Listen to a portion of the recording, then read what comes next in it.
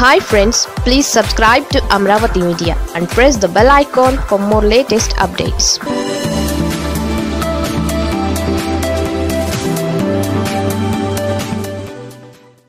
Acharya pre release ఈవెంట్కు Jagan. టికెట్ల రేట్ల సమస్యను పరిష్కరించడంతో ఆంధ్ర సీఎం జగన్ ఇండస్ట్రీ వర్గాలకు మరింత చేరువయ్యారు. సవరించిన జీవోను వీలునంత త్వరగా విడుదల చేసి ఆయన ఇండస్ట్రీకి ఎంతో మేలు చేశారు. ఆ విధంగా ఇవాళ ట్రిపుల్ ఆర్ కానీ కేజీఎఫ్ కానీ మంచి వసూళ్ళు దక్కించుకున్నాయంటే కారణం అందుకు సవరించిన టికెట్ ధరలే అని వేరేగా చెప్పనవసరం లేదు. ముఖ్యంగా ట్రిపుల్ ఆర్ విషయమై ఉన్న టెన్షన్ అంతా పోయింది రాజమౌళికి.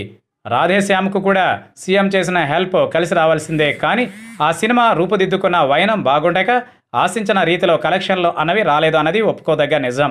ఈ నేపథ్యంలో ఓ ఇంట్రెస్టింగ్ అప్డేట్తో ఇండస్ట్రీలో ఆనందోత్సాహాలు వెల్లువకు నోచుకుంటున్నాయి.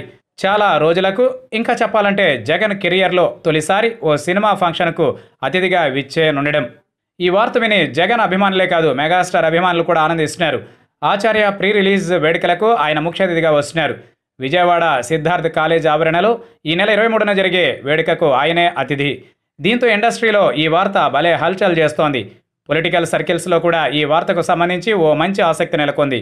వాస్తవానికి చిరుకు వైసీపీ తరఫున రాజ్యసభ టికెట్ ఇస్తారన్న వార్తలు వచ్చాయి. కానీ అవి నిజంగా నిజం కావని చిరు తేల్చేశారు.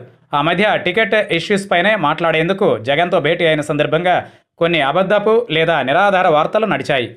దీనిని చిరు ఖండించారు. అటుపై చిరు తీసుకున్న చొరవ కారణంగా టికెట్ రేట్ల పెంపుపై ప్రభుత్వం పునరాలోచన చేసుకుని సమస్యను పరిష్కరించింది.